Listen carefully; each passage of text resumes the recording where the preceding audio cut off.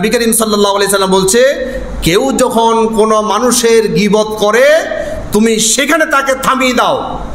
তুমি যখন একজন ভাইয়ের সম্মান রক্ষা করবে, আল্লাহ তালা কেমতের দিন তোমাকে জাহান্নাম থেকে রক্ষা করবে। সুবহানাল্লাহ। জামিউত তিরমিজির হাদিস হাদিস নাম্বার উনিশশো একত্রিশ, এক হাজার নয়শো একত্রিশ নম্বর হাদিস। عن أبي الدرداء رضي الله تعالى عنه قال قال رسول الله صلى الله عليه وسلم من رد عن عرض أخيه رد الله عن وجه النار يوم القيامة নবী করিম সাল্লাল্লাহু আলাইহি সাল্লাম বলছেন মান রদ্দান ইরদি আখিহি কোন ভাইয়ের সম্মান নষ্ট করছে এমন গিবতকারী তোমার সামনে গিবত শুরু করে দিয়েছে তুমি যদি তাকে থামিয়ে দাও তোমার ওই ভাইয়ের ইজ্জত, সম্মান তুমি যদি রক্ষা করতে পারো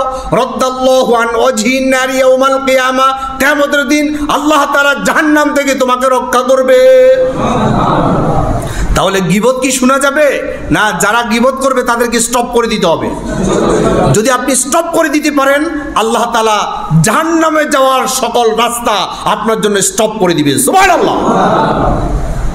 নবী করিম সাল্লাল্লাহু আলাইহি সাল্লাম বলছে তোমার হাত এবং মুখ থেকে যতক্ষণ পর্যন্ত মানুষ নিরাপত্তা লাভ করতে পারবে না ততক্ষণ পর্যন্ত তুমি খাঁটি মুসলমান হতে পারবে না নবী করিম সাল্লাল্লাহু আলাইহি সাল্লাম বলছেন সহিহ বুখারীর হাদিস হাদিস নাম্বার 10 عن عبد الله بن عمر رضي الله تعالى عنه قال قال رسول الله صلى الله عليه وسلم المسلم من سلم المسلمون من لسانه ويده ততক্ষণ পর্যন্ত একজন খাঁটি মুসলমান হতে পারবে না।